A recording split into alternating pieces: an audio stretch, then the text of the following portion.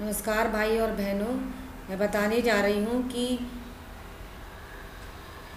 जूते चप्पल से संबंधित बातें, जो कि एक बहुत ही ख़ास बातें हैं, जो बताने जा रही हूँ कि आप जूते चप्पल से क्या नुकसान हो सकता है, क्या फ़ायदा हो सकता है।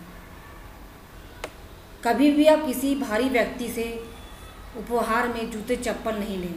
ऐसा करने पर जो गिफ्ट देता है व्यक्ति का दुर्भाग्य हमारे पीछे लग जाता है। जो हमें उपहार में दे रहा है तो उसका जो दुर्भाग्य होगा, वो हमारे पीछे लग जाएगा। इसीलिए हमें हमेशा याद रखिए मित्रों, ये कभी भी आप किसी के जूते ना लें उपहार में। और मैं आपको बताने जा रही हूँ खास बात जूते चप्पल से संबंधित कि जिन घरों में, जिन मकानों में जूते चप्पल इधर उधर बिखरे पड़े रहते हैं, वहाँ शनि का वास हो जाता है शनि दोष लगते हैं, बढ़ते हैं। शनि पैरों का कारक है, इसीलिए पैरों से संबंधित चीज़ों को आप व्यवस्थित ढंग से रखें। इधर उधर मत फेंकें, डालें।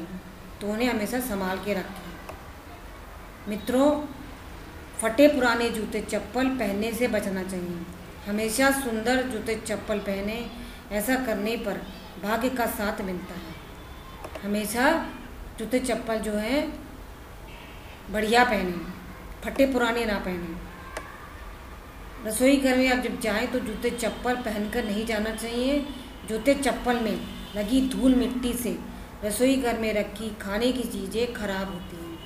मान पूर्णा नाराज़ होती हैं और जो आपके घर में बरक्कत आने वाली होती है वो नहीं आ पाती है। इसीलिए हमेशा जूते चप्पल जो है वो बाहर उतारिए। जो बाहर के चप्पल जूते हैं वो उन्हें बाहर ही रखिए और जो घर के अंदर जूते चप्पल पहने वो दूसरे होने चाहिए। हमेशा याद रखिए इस बात को।